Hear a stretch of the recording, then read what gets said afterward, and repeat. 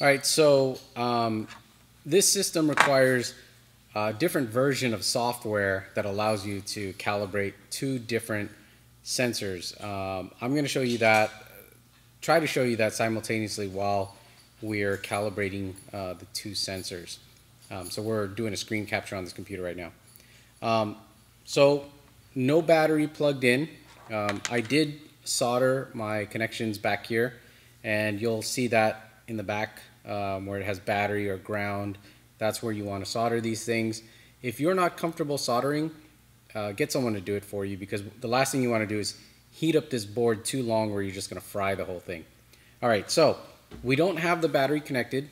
Uh, what we're going to do is we're going to plug in the USB. We're going to connect it to the computer.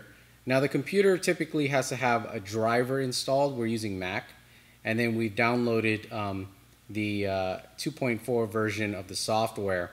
Um, and once you launch launch the software, you choose a connection, which is uh, typically on the the last one on the list. We'll show you that, and uh, then you would hit connect. Um, so in the new version of the software, we're going to calibrate these sensors individually. So right now, um, we'll calibrate. Uh, let's see, which one are we going to do here? This one. Okay. So this is the one that sits on top of the camera. And so we're going to calibrate uh, this one first. So what we'll do is we'll go through the six-step calibration, similar to the 8-bit um, version. Now, if you don't know how to do this, I do have another video showing you that. We're just going to do the same steps, but this time with two different uh, sensors. So I want to make sure that my table is level. Place the sensor here. Go ahead and calibrate.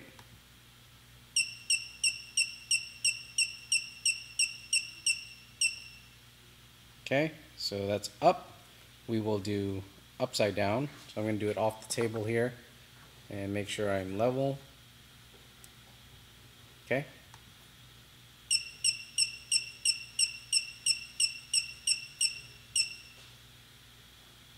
All right. We'll do left side, so I'm going to do it this way. And go ahead.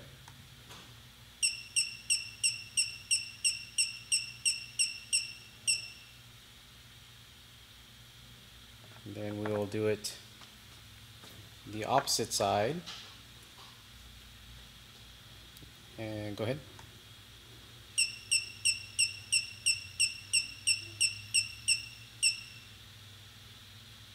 Then we will do up and down. So I'm going to point it down on this cube, make sure I'm level, and go ahead and calibrate.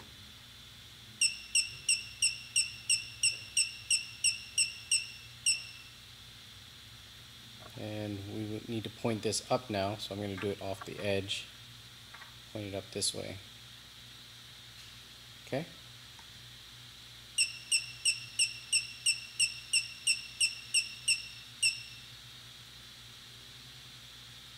Alright so this one is all calibrated. Now we're going to go through the steps of uh, this one. And this is called the frame IMU so this one here is the camera IMU uh, the one with two connections is the frame IMU. So we're just going to go through the same steps. First we'll start with it uh, horizontal. Okay.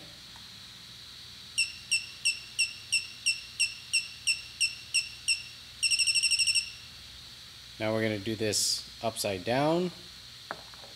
We'll use the edge of the table to get that.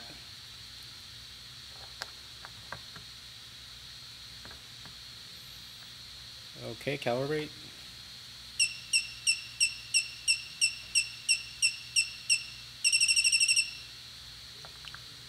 One side, okay.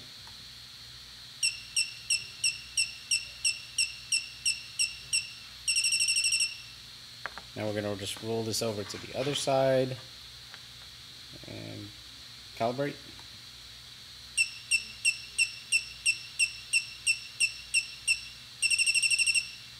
Now we're going to point this down. Okay.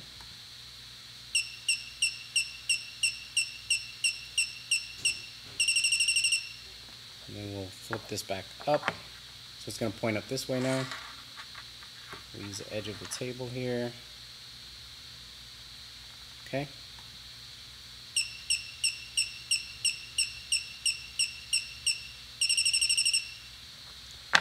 All right, so we have two calibrated IMUs. Now we're just going to mount them back onto the uh, frame here. And then we'll get our camera on board, power everything up, and uh, try to dial in the PID settings. So let me finish this up and we'll get back there.